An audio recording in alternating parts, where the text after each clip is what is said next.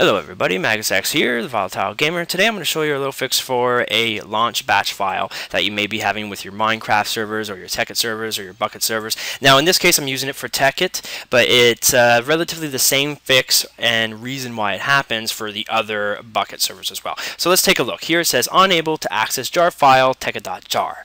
Now there's two reasons why this may happen. One is rather the actual launch.bat is set up with the incorrect name, so it's trying to open up something that the file actually actually isn't called, or it just needs to have the relative path. So let me show you some fixes here. Let's start by opening up the launch.bat and this is where we're going to have to fix it. So in this case it says tekkit.jar. Now to recreate the issue on my end, I had to rename the actual tekkit.jar, but because by default I don't have this problem. I'm just trying to show you guys. So one thing you're going to want to make sure is make sure that they're both named the exact same thing. So in this case I would have to name it tekkit.jar as normal, and it would work for me. Now it may not still work for you, so that would cause you to have to do the second fix. Now to fix it, all you have to do is open up your Tekkit server folder where the launch.bat and the actual tekkit.jar is, and just click up here at the top and you'll see here how it changes the uh, the text. So you can actually select it. So we're going to cut that text and we're going to go ahead and put it right into the launch.bat so I'll paste it right out in front of the tekkit.jar like such.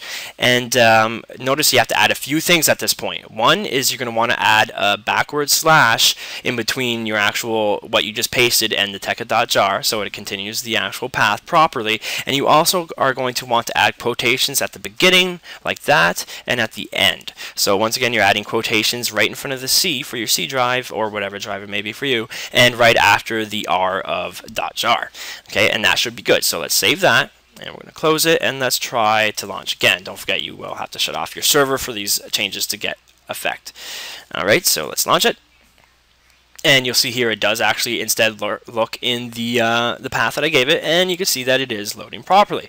So that's it for today. Like I said this could work for Bukkit servers too but as a Bukkit server all you'd have to do is one make sure that the launch.bat or whatever your batch file is called is has the same name as the CraftBukkit version R5 whatever it is. And if that doesn't work then also add the path like I did here in this video. So hopefully that was helpful for you guys. If it was please give me a like give it as many likes as you can and uh, share with your friends if they have the same issues too. So once again, this is MaguzX Volatile Gamer. Subscribe for daily content with like tutorials and let's plays, and have yourself a great day. Bye bye.